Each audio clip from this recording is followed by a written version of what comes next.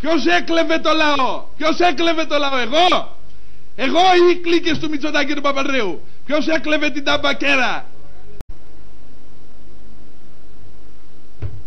Τα ζώα, τα ζώα, σας έλεγα ζώα και γκρινιάζατε, γκρινιάζατε. Δεν σας έλεγα για κανένα λόγο, σας αγαπούσα. Αλλά ψηφίζατε ανθρώπους οι οποίοι σας κορόιδευαν, σας πρόδιδαν, σας ενέπαιζαν. Λέρωναν το μητρό σας και την ηθική σας σαν κοινωνία και σαν ανθρώπων. Ευγνωμονώ όλους για, για τη στάση σας και την αγάπη σας. Σας στέρνω την απεριόριστη αγάπη μου και ευγνωμοσύνη μου. Στο όραμα μιας νέας Ελλάδος 36 μήνες νύχτα και μέρα βρέθηκα κοντά σας.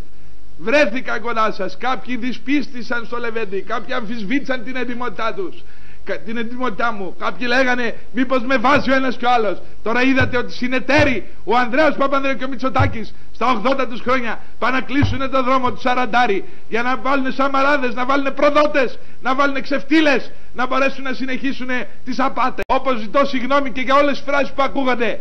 Δεν εκφράζουν τον εαυτό μου δεν εκφράζουν το χαρακτήρα μου. Εκφράζουν όμως την ορχή μου και την αγανάκτηση υποθέτω και είμαι σίγουρος όλου του λαού της Ελλάδας ενάντια στους δρομερούς που τόσα χρόνια λαιλάτουν και βουτάνε 4 εκατομμύρια την ημέρα ο προένας και 3,5 εκατομμύρια την ημέρα ο άλλος από το δημόσιο σιρτάρι για να πληρώνουν τους χαρτοπόλεμους και τους αλήτες τους που έχουν τα τροκτικά τους.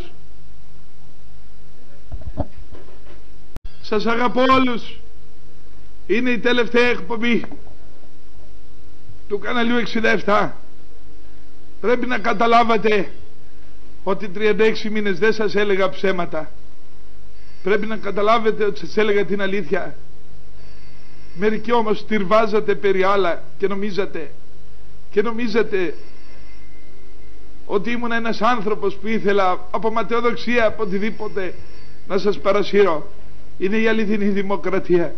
Είναι ο χώρος του κέντρου που θέλει να διώξει τους κλέφτες της δεξιάς και τους κλέφτες του Πασόκ τους απαντεώνες και τους κλέφτες που έχουν φωλιάσει και στα δύο αυτά κόμματα και λερώνουν και κάποιους τίμιους ανθρώπους που τώρα υποθέτω θα καταλάβουν η τίμη της δεξιάς και η τίμη του Πασόκ ότι η μόνη ψήφος που τους μένει είναι η Ένωση Κεντρών με σήμα το ουράνιο τόξο με σήμα το ουράνιο τόξο. Και από κάτω Ένωση επικρατεί αναταραχήσει το συγγνώμη για τις λέξεις που λέω ζητώ συγγνώμη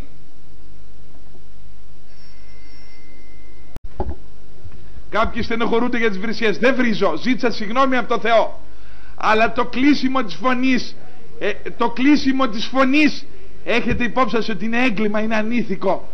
Είναι η ψυχή της δημοκρατίας το κανάλι 67 και προσπαθούν να, να, να λοχεύσουν την ψυχή της δημοκρατίας. Φέρονται εσχρά και ανήθικα στο κανάλι 67 της ελληνικής τηλεόρασης. Και κλείνουν και κάποιους άλλους μικροσταθμούς ώστε να πούνε εμείς οφείλαμε να τους κλείσουμε όλους και κάποιους αφουκαράδες τους παίρνει και αυτούς ο διάβολος για να κλείσουν το Λεβέντι ο σκοπός, ο φόβος τους, ο τρόμος τους είναι ο Βασίλης ο Λεβέντης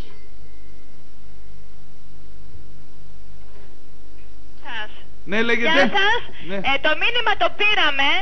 Ε, το φως της αλήθειας θα λάμψει. Τους τυφλώνει. Δεν μπορούν να δούνε την αλήθεια. Είμαστε εργαζόμενοι, μας εκβιάζουν.